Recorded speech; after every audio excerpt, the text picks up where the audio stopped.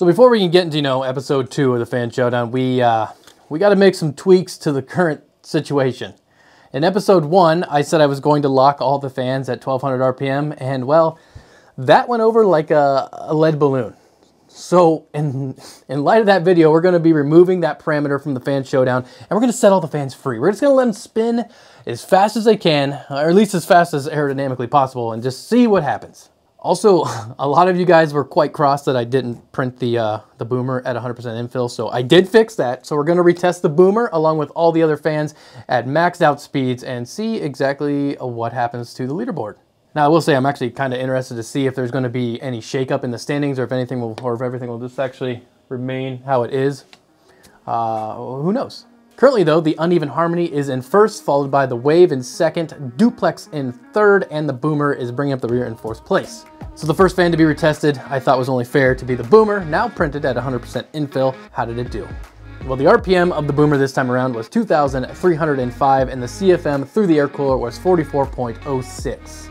After 15 minutes of AIDA 64, temperatures leveled off at 76.3, room temperature of 20.6, giving us a delta of 55.7. Also, I really didn't notice any difference in vibration between the 15% infill version and the 100% infill version, so seemed about, about the same.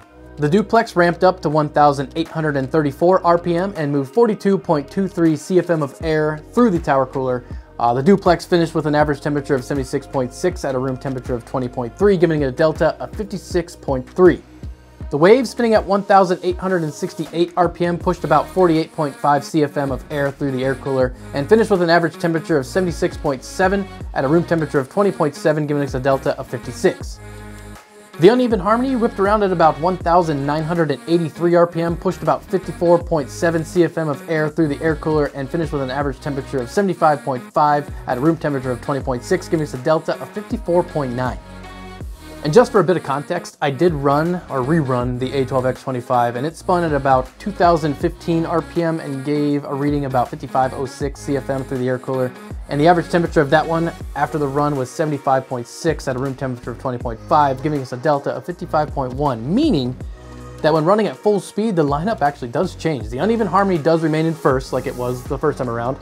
It actually did better than the A12X25. The boomer now though is in second, not counting the A12X25. The Wave moves to third and the Duplex drops to fourth, which is very surprising. I didn't think the Boomer would finish as well as it did. It was pretty, I mean, it vibrated quite a bit. Uh, didn't seem like it was moving that much air, but it, it managed to cool the tower cooler pretty good.